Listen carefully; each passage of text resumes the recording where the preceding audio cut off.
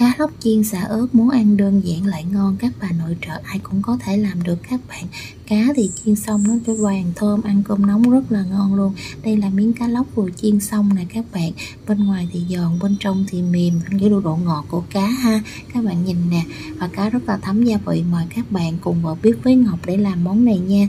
Đầu tiên thì Ngọc dùng một con cá lóc khoảng 1 kg 2 đã được làm sạch. Cái phần cá thì Ngọc đã lóc cái phần xương ra rồi.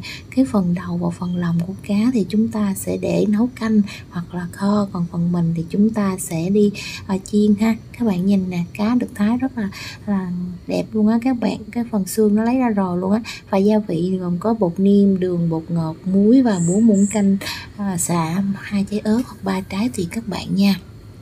Bây giờ chúng ta sẽ tiến hành đi thái cá nha các bạn. Cá lóc đã được lóc xương xong á, thì các bạn sẽ sắc ở đây Ngọc chia thành 4 phần và mỗi phần Ngọc sẽ cắt đôi phần cá như thế này. Sau đó Ngọc sẽ chẻ cứa để cho cá nó thấm gia vị và khi các bạn chiên á cá nó sẽ giòn và nó thơm ngon hơn. Đó các bạn các bạn nhìn ha lần lượt chúng ta sẽ làm nha. Các bạn có cứa muối như thế này nè để các khi các bạn muối á, thì các bạn sẽ cho cái phần gia vị vào nó sẽ thấm đều cái phần cá lóc á. cá lóc được lóc xương ra rồi cho nên các bạn chiên nó sẽ giòn mà các bạn ăn các bạn cũng không sợ nó bị xương nữa đó các bạn. Các bạn thấy không? Thịt cá nó còn tươi cho nên nó trắng như thế này và đặc biệt là nó dẻ nó chắc tay chứ nó không có bị bở cá ha.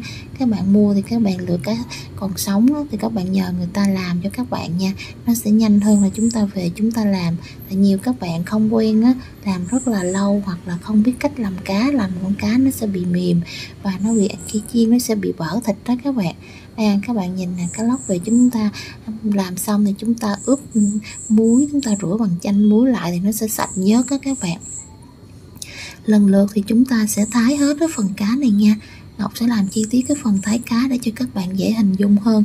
Và sau khi thái xong thì chúng ta sẽ chuẩn bị đi ướp gia vị để chiên ha. Với một ký hai cá thì Ngọc dùng hai muỗng cà phê muối, một muỗng cà phê bột ngọt, hai muỗng cà phê bột niêm và một muỗng cà phê đường nha. Chúng ta sẽ cho xả vào và các bạn sẽ trộn đều. Lưu ý các bạn cay, các bạn nên cho một xíu ớt vào nó sẽ thơm hơn á. Các bạn sẽ trộn đều lên và các bạn sẽ ướp gia vị ở đây trong vòng 15 phút. Nếu các bạn để chiên sao thì các các bạn có thể bỏ được ngăn mát tủ lạnh, chúng ta ăn dần, nó cũng thấm và nó ngon hơn đó các bạn.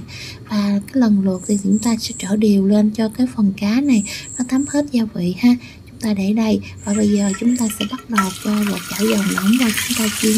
Lưu ý khi chiên cá thì trước khi các bạn chiên, các bạn cho vào một xíu muối trong chảo dầu thì các bạn chiên nó sẽ không bị dần ha. Và cá chúng ta chiên xong thì nó vàng giòn, rồi các bạn sẽ trở đều các mặt và các bạn tắt bếp nha lưu ý trở đều khi nó dồn một mặt với trở nha. Và lần lượt thì chúng ta trở hết cái phần chảo cá này các bạn thấy không? Mặt dưới của nó rất là vàng và giòn luôn á. Không, không ướp thêm cái màu gì hết á. Đây là màu tự nhiên của cá đó các bạn. Và nó đã lên màu đẹp như thế này rồi. Và đây là cái phần cá lóc đã chiên xong nè thấy cái không nó rất là vàng và giòn luôn đó các bạn. Và đây chúng ta sẽ cho ra dĩa thôi nào. Lần lượt từng khứa cá chiên xả ớt được ra dĩa ha. Các bạn thấy không?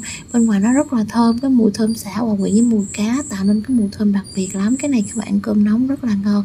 Các bạn nhìn nè. Cá thì vàng bên ngoài giòn, bên ngoài luôn nhưng mà bên trong vẫn mềm ha, thấm gia vị. Mời các bạn cùng vào bếp và thực hiện với Ngọc món này nha. Chúc các bạn thành công và hẹn gặp lại.